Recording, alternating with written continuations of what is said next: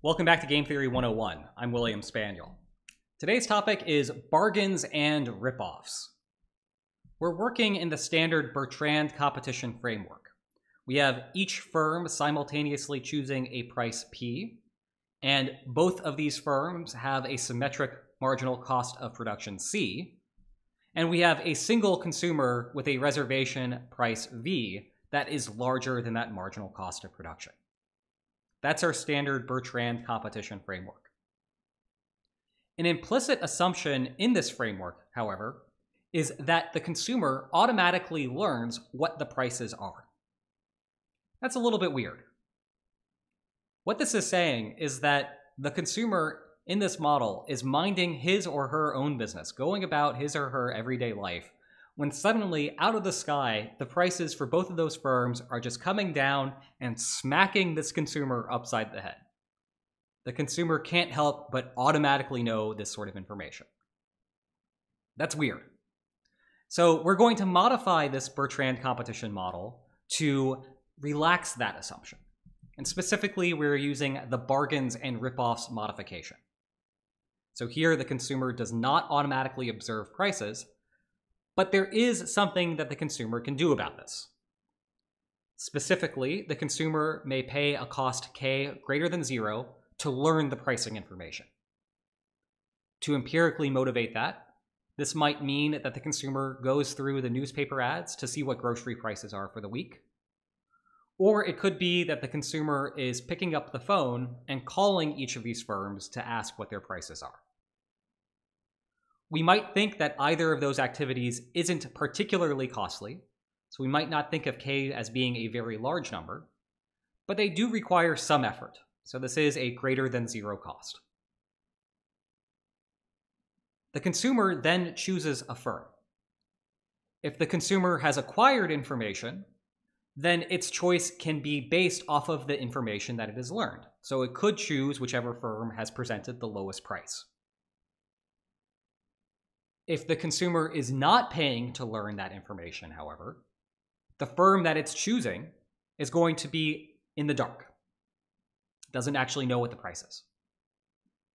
But once it has chosen a firm, it will then see the price and it will purchase if the price is no greater than its reservation value and it will not buy otherwise. So you can think about this. If you don't go through the newspaper ads, you can still go to your local grocery store and you will see the price that is posted once you are there. And if that price is lower than your reservation value, then you happily buy. But if it's greater than your reservation value, well, unfortunately, you're out of luck. So this is our revised model of Bertrand competition.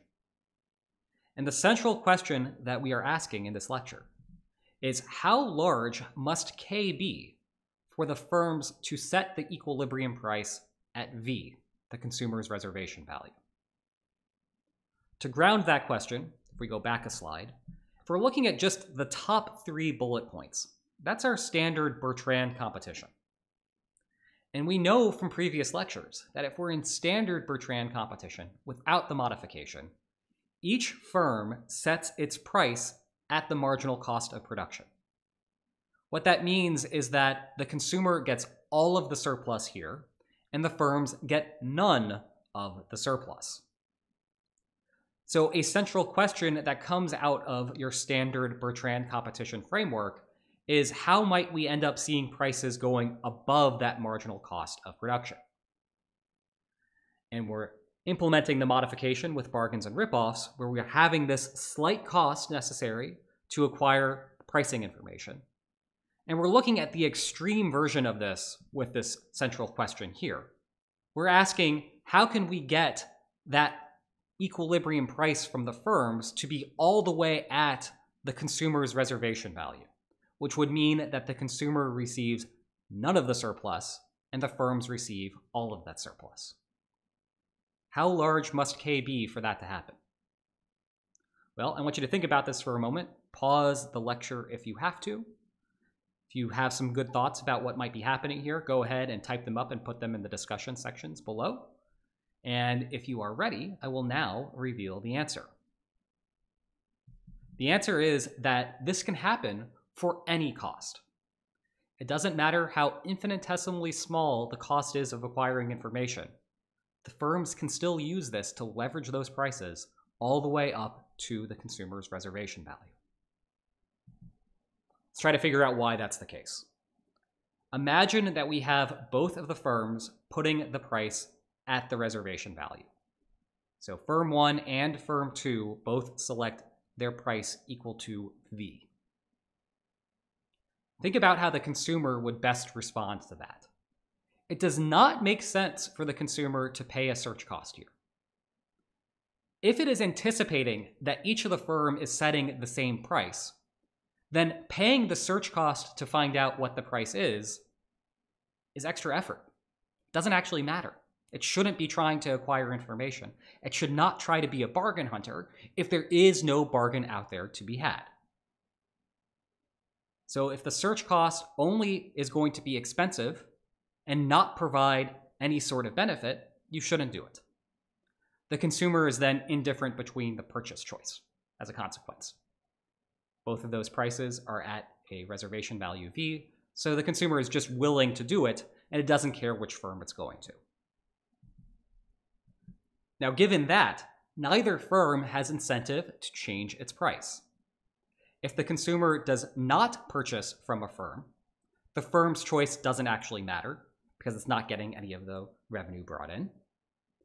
And if the consumer is purchasing from a firm, well, if you lower your price, that means you're getting less profit. And if you raise your price, that means you're not getting a sale. And so, as a consequence, what this means is that we can get those prices all the way up to the reservation value that the consumer has. Hope you enjoyed this lecture and hope to see you next time. Take care.